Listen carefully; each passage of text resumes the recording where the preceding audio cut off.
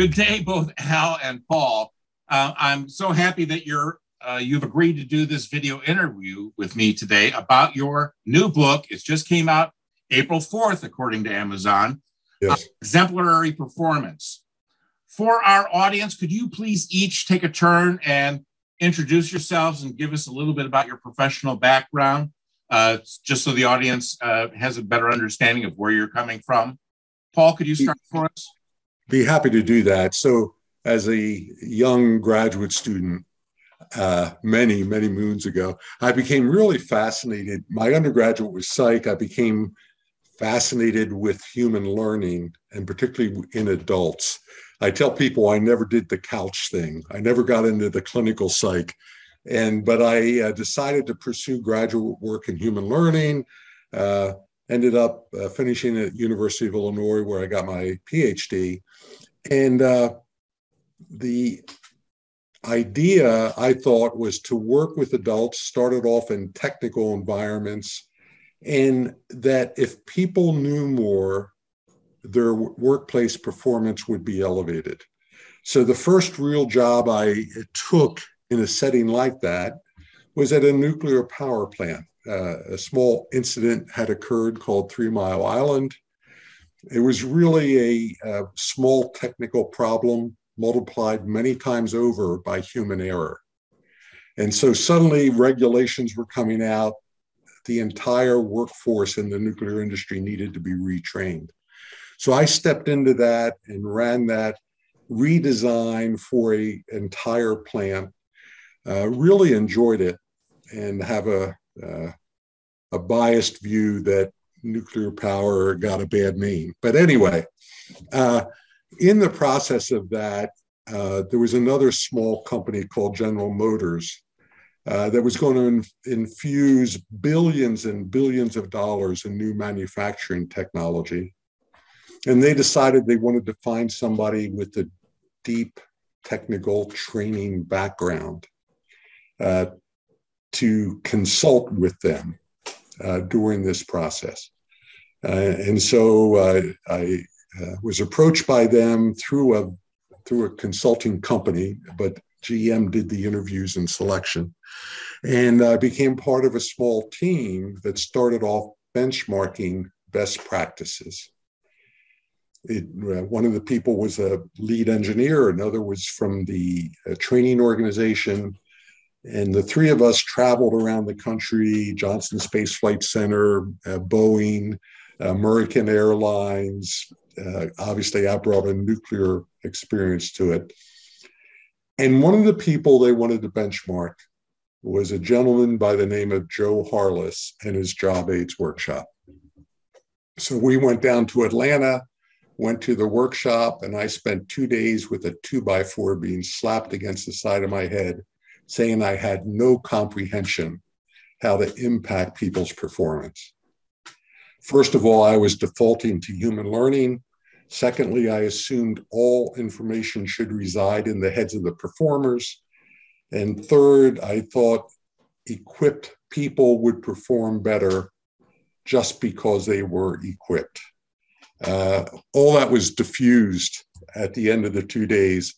And uh, I spent the next couple years working with GM uh, after the benchmarking practice, coming up with models to improve performance and started to use Joe Harless's accomplishment based curriculum development model and later what he called PQI, the perform uh, PIQ, performance, no, PQI, performance quality improvement tool set. Uh, so this totally changed my practice. Uh, I started a to focus on elevating performance, not increasing skills alone. Certainly, people need to know in order to do the right things to produce the right accomplishments. But I certainly met a lot of people who knew a lot who were not high performers. It changed the source of the data we all talk about SMEs, subject matter experts. Uh, Joe's source, primary source of data, you might use SMEs, you might use all kinds of different people, process engineers. but the primary source of data were accomplished performers, current people in role. And uh, it changed the solution set from training to an integrated performance system that was focused on producing greater outcomes. Uh, so that was quickly kind of my background. Uh, when Joe retired in 1998, I acquired uh, the Harless Performance Guild. In 2001, I had the opportunity to sell the IP and go to work for a software company that was doing an LMS. And in 2004, I uh, had met my three year commitment and started a company called Exemplary Performance, which has recently been sold to Jamie Torchiana. But anyway, that's a snapshot. Uh, and um, really have worked primarily with business leaders, uh, business executives, very little with HR or L&D over the past 30 years, bringing these tools uh, into a commercial environment. I will mention that in 1995, I was approached by an organization, and the individual in that organization, uh, Al Folsom, later to be Captain Al Folsom, about infusing that into the United States Coast Guard. And uh, that's been the one federal agency I've worked with off and on uh, over the years, and hence uh, co authored this with Al. Well, Al, let's turn to you then. Uh, can you give us a little bit about your background in the L&D world and, and how that relates to this book? Sure, sure. So, as Paul just mentioned, uh, I was in the Coast Guard, uh, spent 28 years there. Um, early on in my career, I was uh, I was an instructor at uh, Officer Candidate School. Um, as part of that, Coast Guard had some great training for you know podium skills, how to be a, a good instructor in a classroom. Um, they sent me off to after a little while into a course developers course, which was training for ISD. Um, and then uh, I went to a workshop called JAWS, Job AIDS Workshop, the Joe Harless workshop for job aids, and also had, you know, kind of uh, changed my outlook ever since, right? So that changed uh, professionally, personally, my thinking. Um, after that tour as an instructor, went back afloat on a ship and as as part of helping our ship do better work in enforcement in uh, navigation uh, even in personal development ended up developing many job aids that people could use without having to spend a lot of time in training and were able to produce results to standard um, and wanted to follow that up. The Coast Guard had a program for instructional technology, a graduate school program, went off to Penn State, uh, got a PhD there, spent a semester um, with an analysis, performance analysis course there, where the textbook was something called human competence. Um, so, again, impacted me greatly after I returned back to the Coast Guard, uh, was in Yorktown, Virginia, and the Coast Guard had this idea that they were going to create a performance technology and training center. And so when I arrived, the new PhD from Penn State, they invited me to the table, said, What do you think? And I saw lots of articles, printouts from authored by Joe Harless and others, but that seemed to be a dominant thought. And I said, Well, my first thinking is, why don't we ask this guy Joe Harless to come up here and help us? And they said, sure. Uh, you call him. All right. So I cold called Joe Harless, who said, "Hey, I uh, I just retired. I'll I'll exchange some faxes with you, um, collegially, um, and I want to introduce you to this guy named Paul Elliott. Uh, he's a pretty good fella, and uh, that's who you should go with." So, first thing I'll just comment Joe said, What are you going to call this place? Well, the Performance Technology and Training Center. He said, Well, that seems rather redundant. Just call it the Performance Technology Center.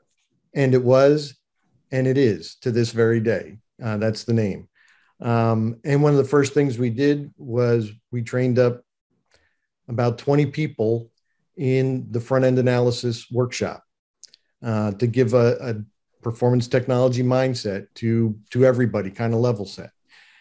Um, after that, I, I did a, a, workforce restructuring project for the Coast Guard um, that looked at half of the enlisted workforce, um, restructured that those uh, ratings, uh, biggest re- reorganization in since World War II.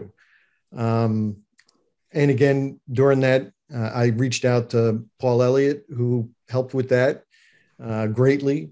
Um, and then subsequently was training officer in Petaluma, California, and finally the chief learning officer of the Coast Guard in Washington, D.C.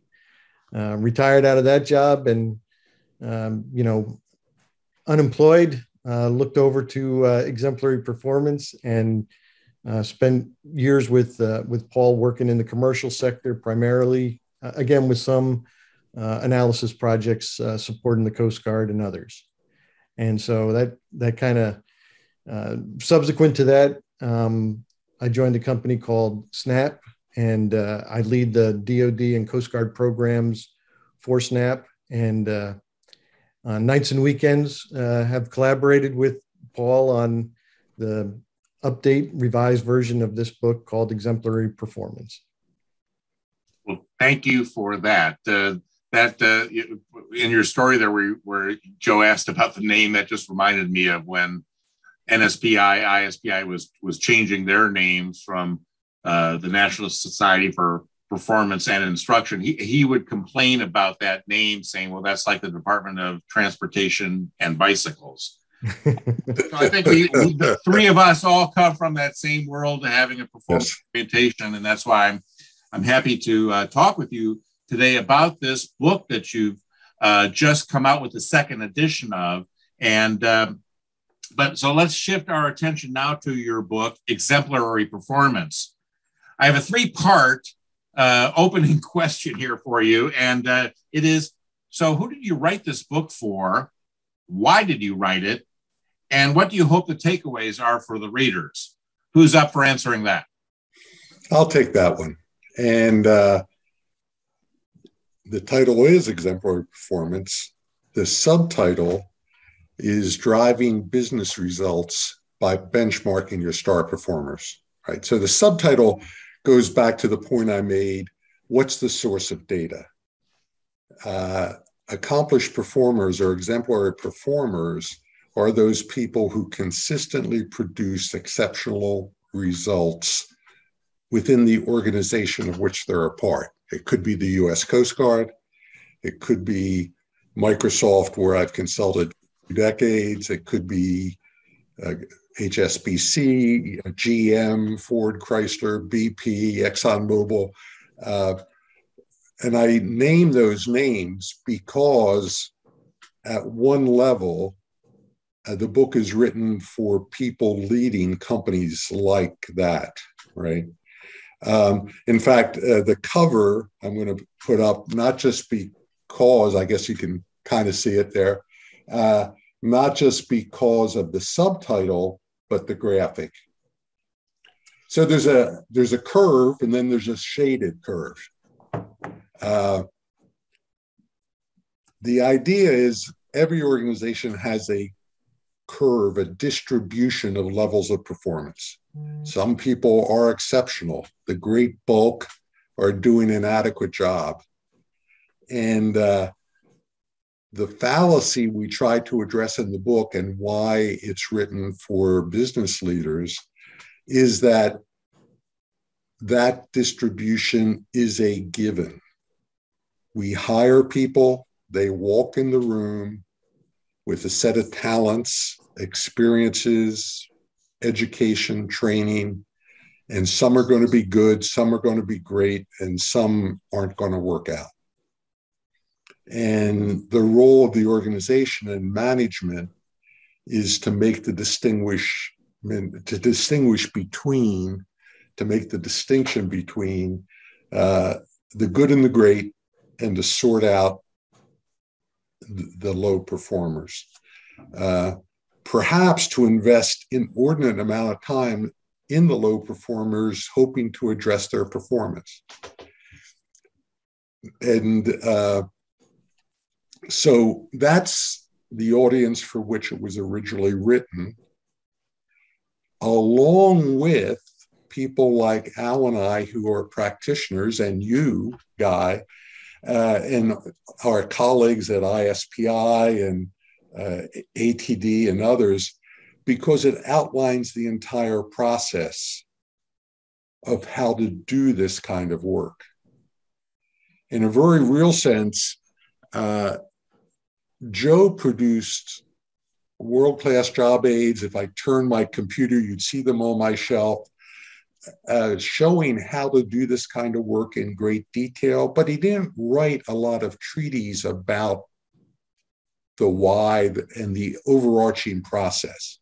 Al and I believe we've done that on his behalf, and we certainly, in the attribution, in the uh, section on appreciation, mention his influence that for 25 years, uh, the two of us have been A, impacted by, B, mentored by, and forever changed by his influence. So, in a sense, uh, it's not an, a biography of Joe Harless, uh, but it is an encapsulation of his thinking. Uh, so practitioners are the second audience. Uh, they can understand the rationale, they can read case studies, they can see a process description, not to the level of detail that Joe provided in, in, in, the, in his job aids and his tools, but unfortunately, they're no longer available. So it's a close, it's an approximation. Uh, so they're the audiences.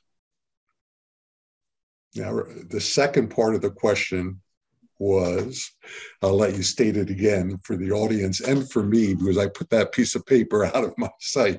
well, so so so the first question was who did you write it for, but why did you write it? I think you've kind of answered that as well. But but then what do you hope the takeaways are for the audience? Well, uh, yes, and I have a little bit more about the why. Uh, in night in 2020, the estimates are that the gross profitability of US corporations was about $20 trillion. I believe organizations leave about 10% more on the table because they make a false assumption that the variance between good and great is predetermined before the folks walk through the door. We may educate them, we may train them, but they come in with a given profile, be that a DISC kind of inventory, give it their past experience, given their IQ, given their talent that um, is going to really sort them out into which of the categories A, B's, or C's they fall into. Al and I and Joe and you and others believe that's a totally false assumption. We don't mean that people can become totally exceptional with zero talent. But in a great book that uh, the uh, lead editor at Fortune wrote called Talent is Overrated, talent is not the do- dominant determinant of your level of performance. It's a performance system where the talent you bring to the table is necessary, but never sufficient to be a good performer, a high performer. So, the purpose of writing it is to challenge a false assumption. I mean, the data is overwhelming, it's the wrong assumption. Uh, and say, by taking a systemic integrated approach, we can elevate the performance of people, increasing their accomplishments, their outcomes, their results, uh, without elevating the cost structure. We can get more from the existing resource, the human capital. Uh, and so that's basically the premise of the book. And when Al talks about the flow of the book, we kind of lay that out. All right. Well, thank you. Uh, so, Al, let's shift into now the the book itself and the structure and flow, however you want to go through this. But uh, what might the readers, uh, you know, what will they uh, uh, be con- uh, confronted with or see in the book itself? So, why don't you walk us through the book for us? Sure. Thank, thanks, Guy.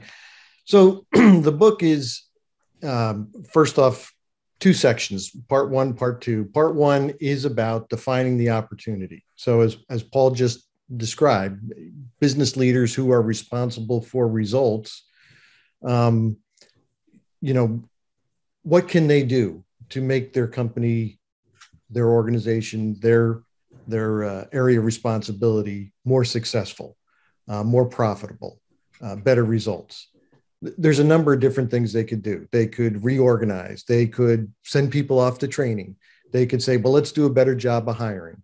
Um, our, our proposition is that they should consider look at their star performers and do internal benchmarking and and figure out how to get better results by having people perform more like their star so Chapter one is about the value of leveraging your star performers. The second one is prioritizing. So, in a company, you know, we have a lot of different roles, we have a lot of different departments. Well, where do you place the the limited resources you have? Where are you going to get the best return on investment? And so we walk through that in, in chapter two.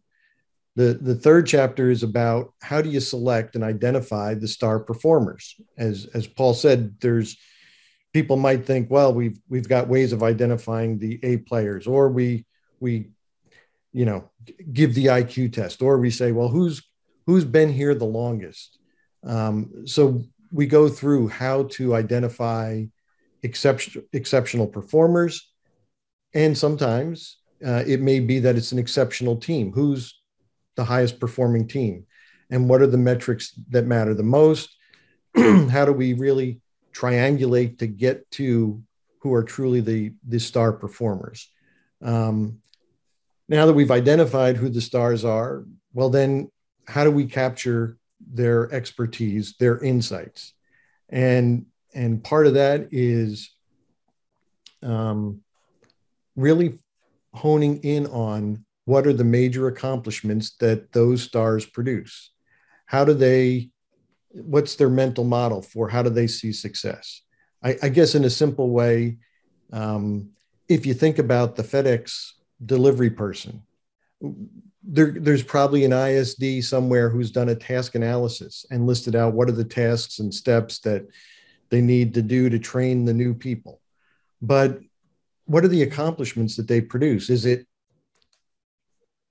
package at destination on time.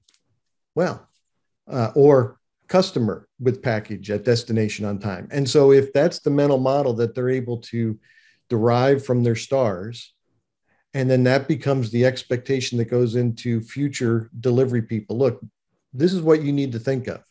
Uh, I did a project at a at a car dealership. They had a they had a slogan, um, disc.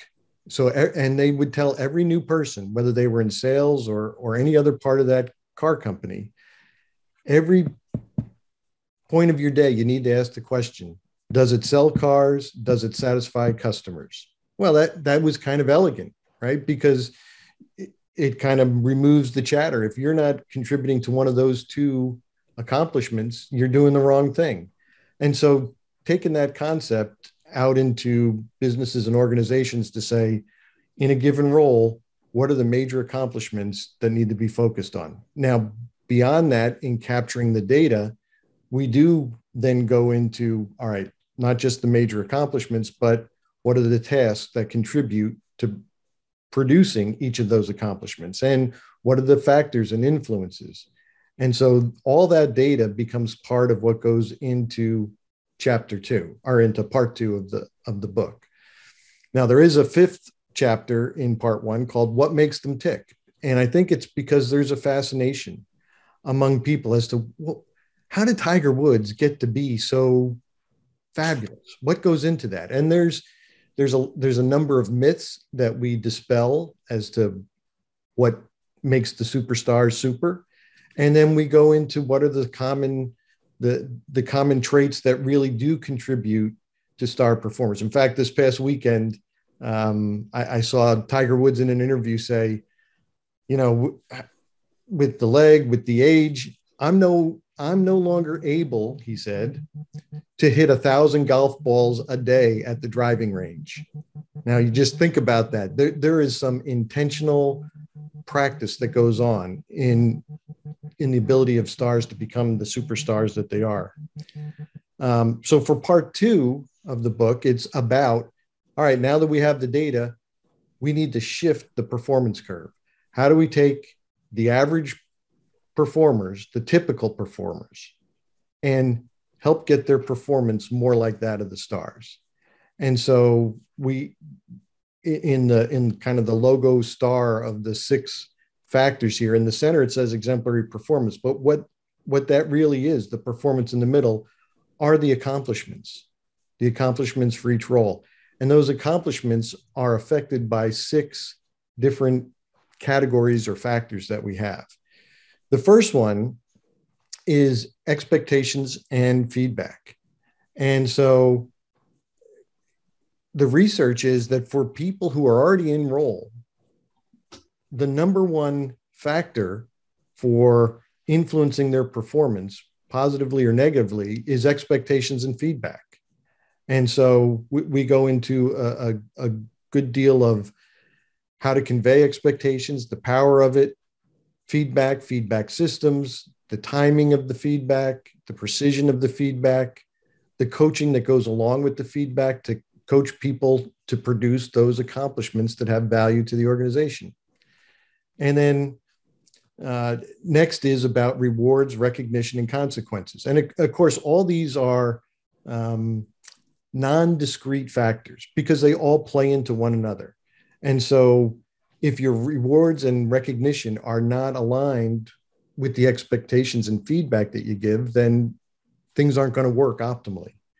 Um, the, the next one is about motivation, uh, intentionality, and deliberate practice. So I, I mentioned Tiger Woods. Um, again, it's, I think some, pardon for the golf analogy, but there are some of the greatest golfers. I, I, am thinking Jack Nicklaus, Tiger Woods. The, the idea of saying, not only am I hitting a thousand golf balls, but I'm hitting them as if I'm in the middle of a tournament and that swing counts whether I'm going to win the tournament or not. It's not just going through the motion of hitting a thousand golf balls. It's the intentional practice evaluating did that do what I wanted it to do? And so again, by by tapping into the motivation of people, again, the non-discrete factors, people generally show up to the job motivated on day one. And so to be able to tap into what's motivating about this job and and make those things clear to performers uh, continues to to support that motivation. Um, the next chapter is about training and performance support. There are times when we need to train things to memory. And there are other times when that's not necessary, nor as efficient, nor as reliable. And a performance support like a job aid or an electronic performance support tool is the right um, the right tool, the right solution to be factored into it. Um, and then the next is is about um, selecting people for the job. And so, uh, again, what's the best person for this job? Someone who has previously performed the, the, the required accomplishments to standard. Um, again, tying into expectations. If we are advertising for a position, here's the job description, but the real job is nothing like that. W- what happens? Well, we've got a bad hire, a bad fit, and motivation has just gone downhill. And so organizations may say, well, we let's train better. Well, it, at this point, we're kind of on a on a losing proposition if we haven't selected up front uh, people who are going to be a good match to what the real job requirements are. We also call it truth in advertising. So, does the job description reflect the accomplishments that are expected on the job, or is it something generic out of an HR department that really doesn't really match up with the true priorities? And then, um, lastly, we have a, a chapter on creating barrier free work systems. And so, here we're not just talking about uh, Americans with Disabilities Act. We're, we're talking about things that get in the way, processes and systems and tools that uh, have we have we created the job? Have we created the process so that people can create the accomplishments without the barriers?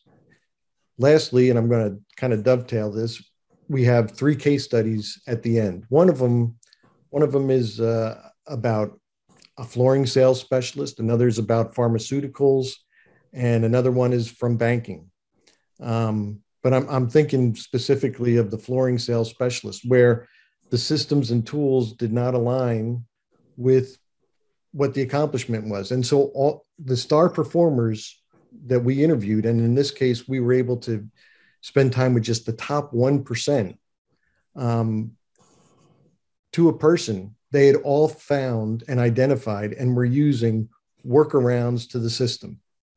And so, what's the takeaway? You know, when people say, well, how do you redesign the system? Well, your own people have figured out better ways to make this thing happen. And so that kind of summarizes, and, and then there's an index at the end. well, Al, thank you for that overview of the book. Um, and my next question then to the two of you is so, where can people find your book and in what formats is it available? Well, I'll, I'll jump in.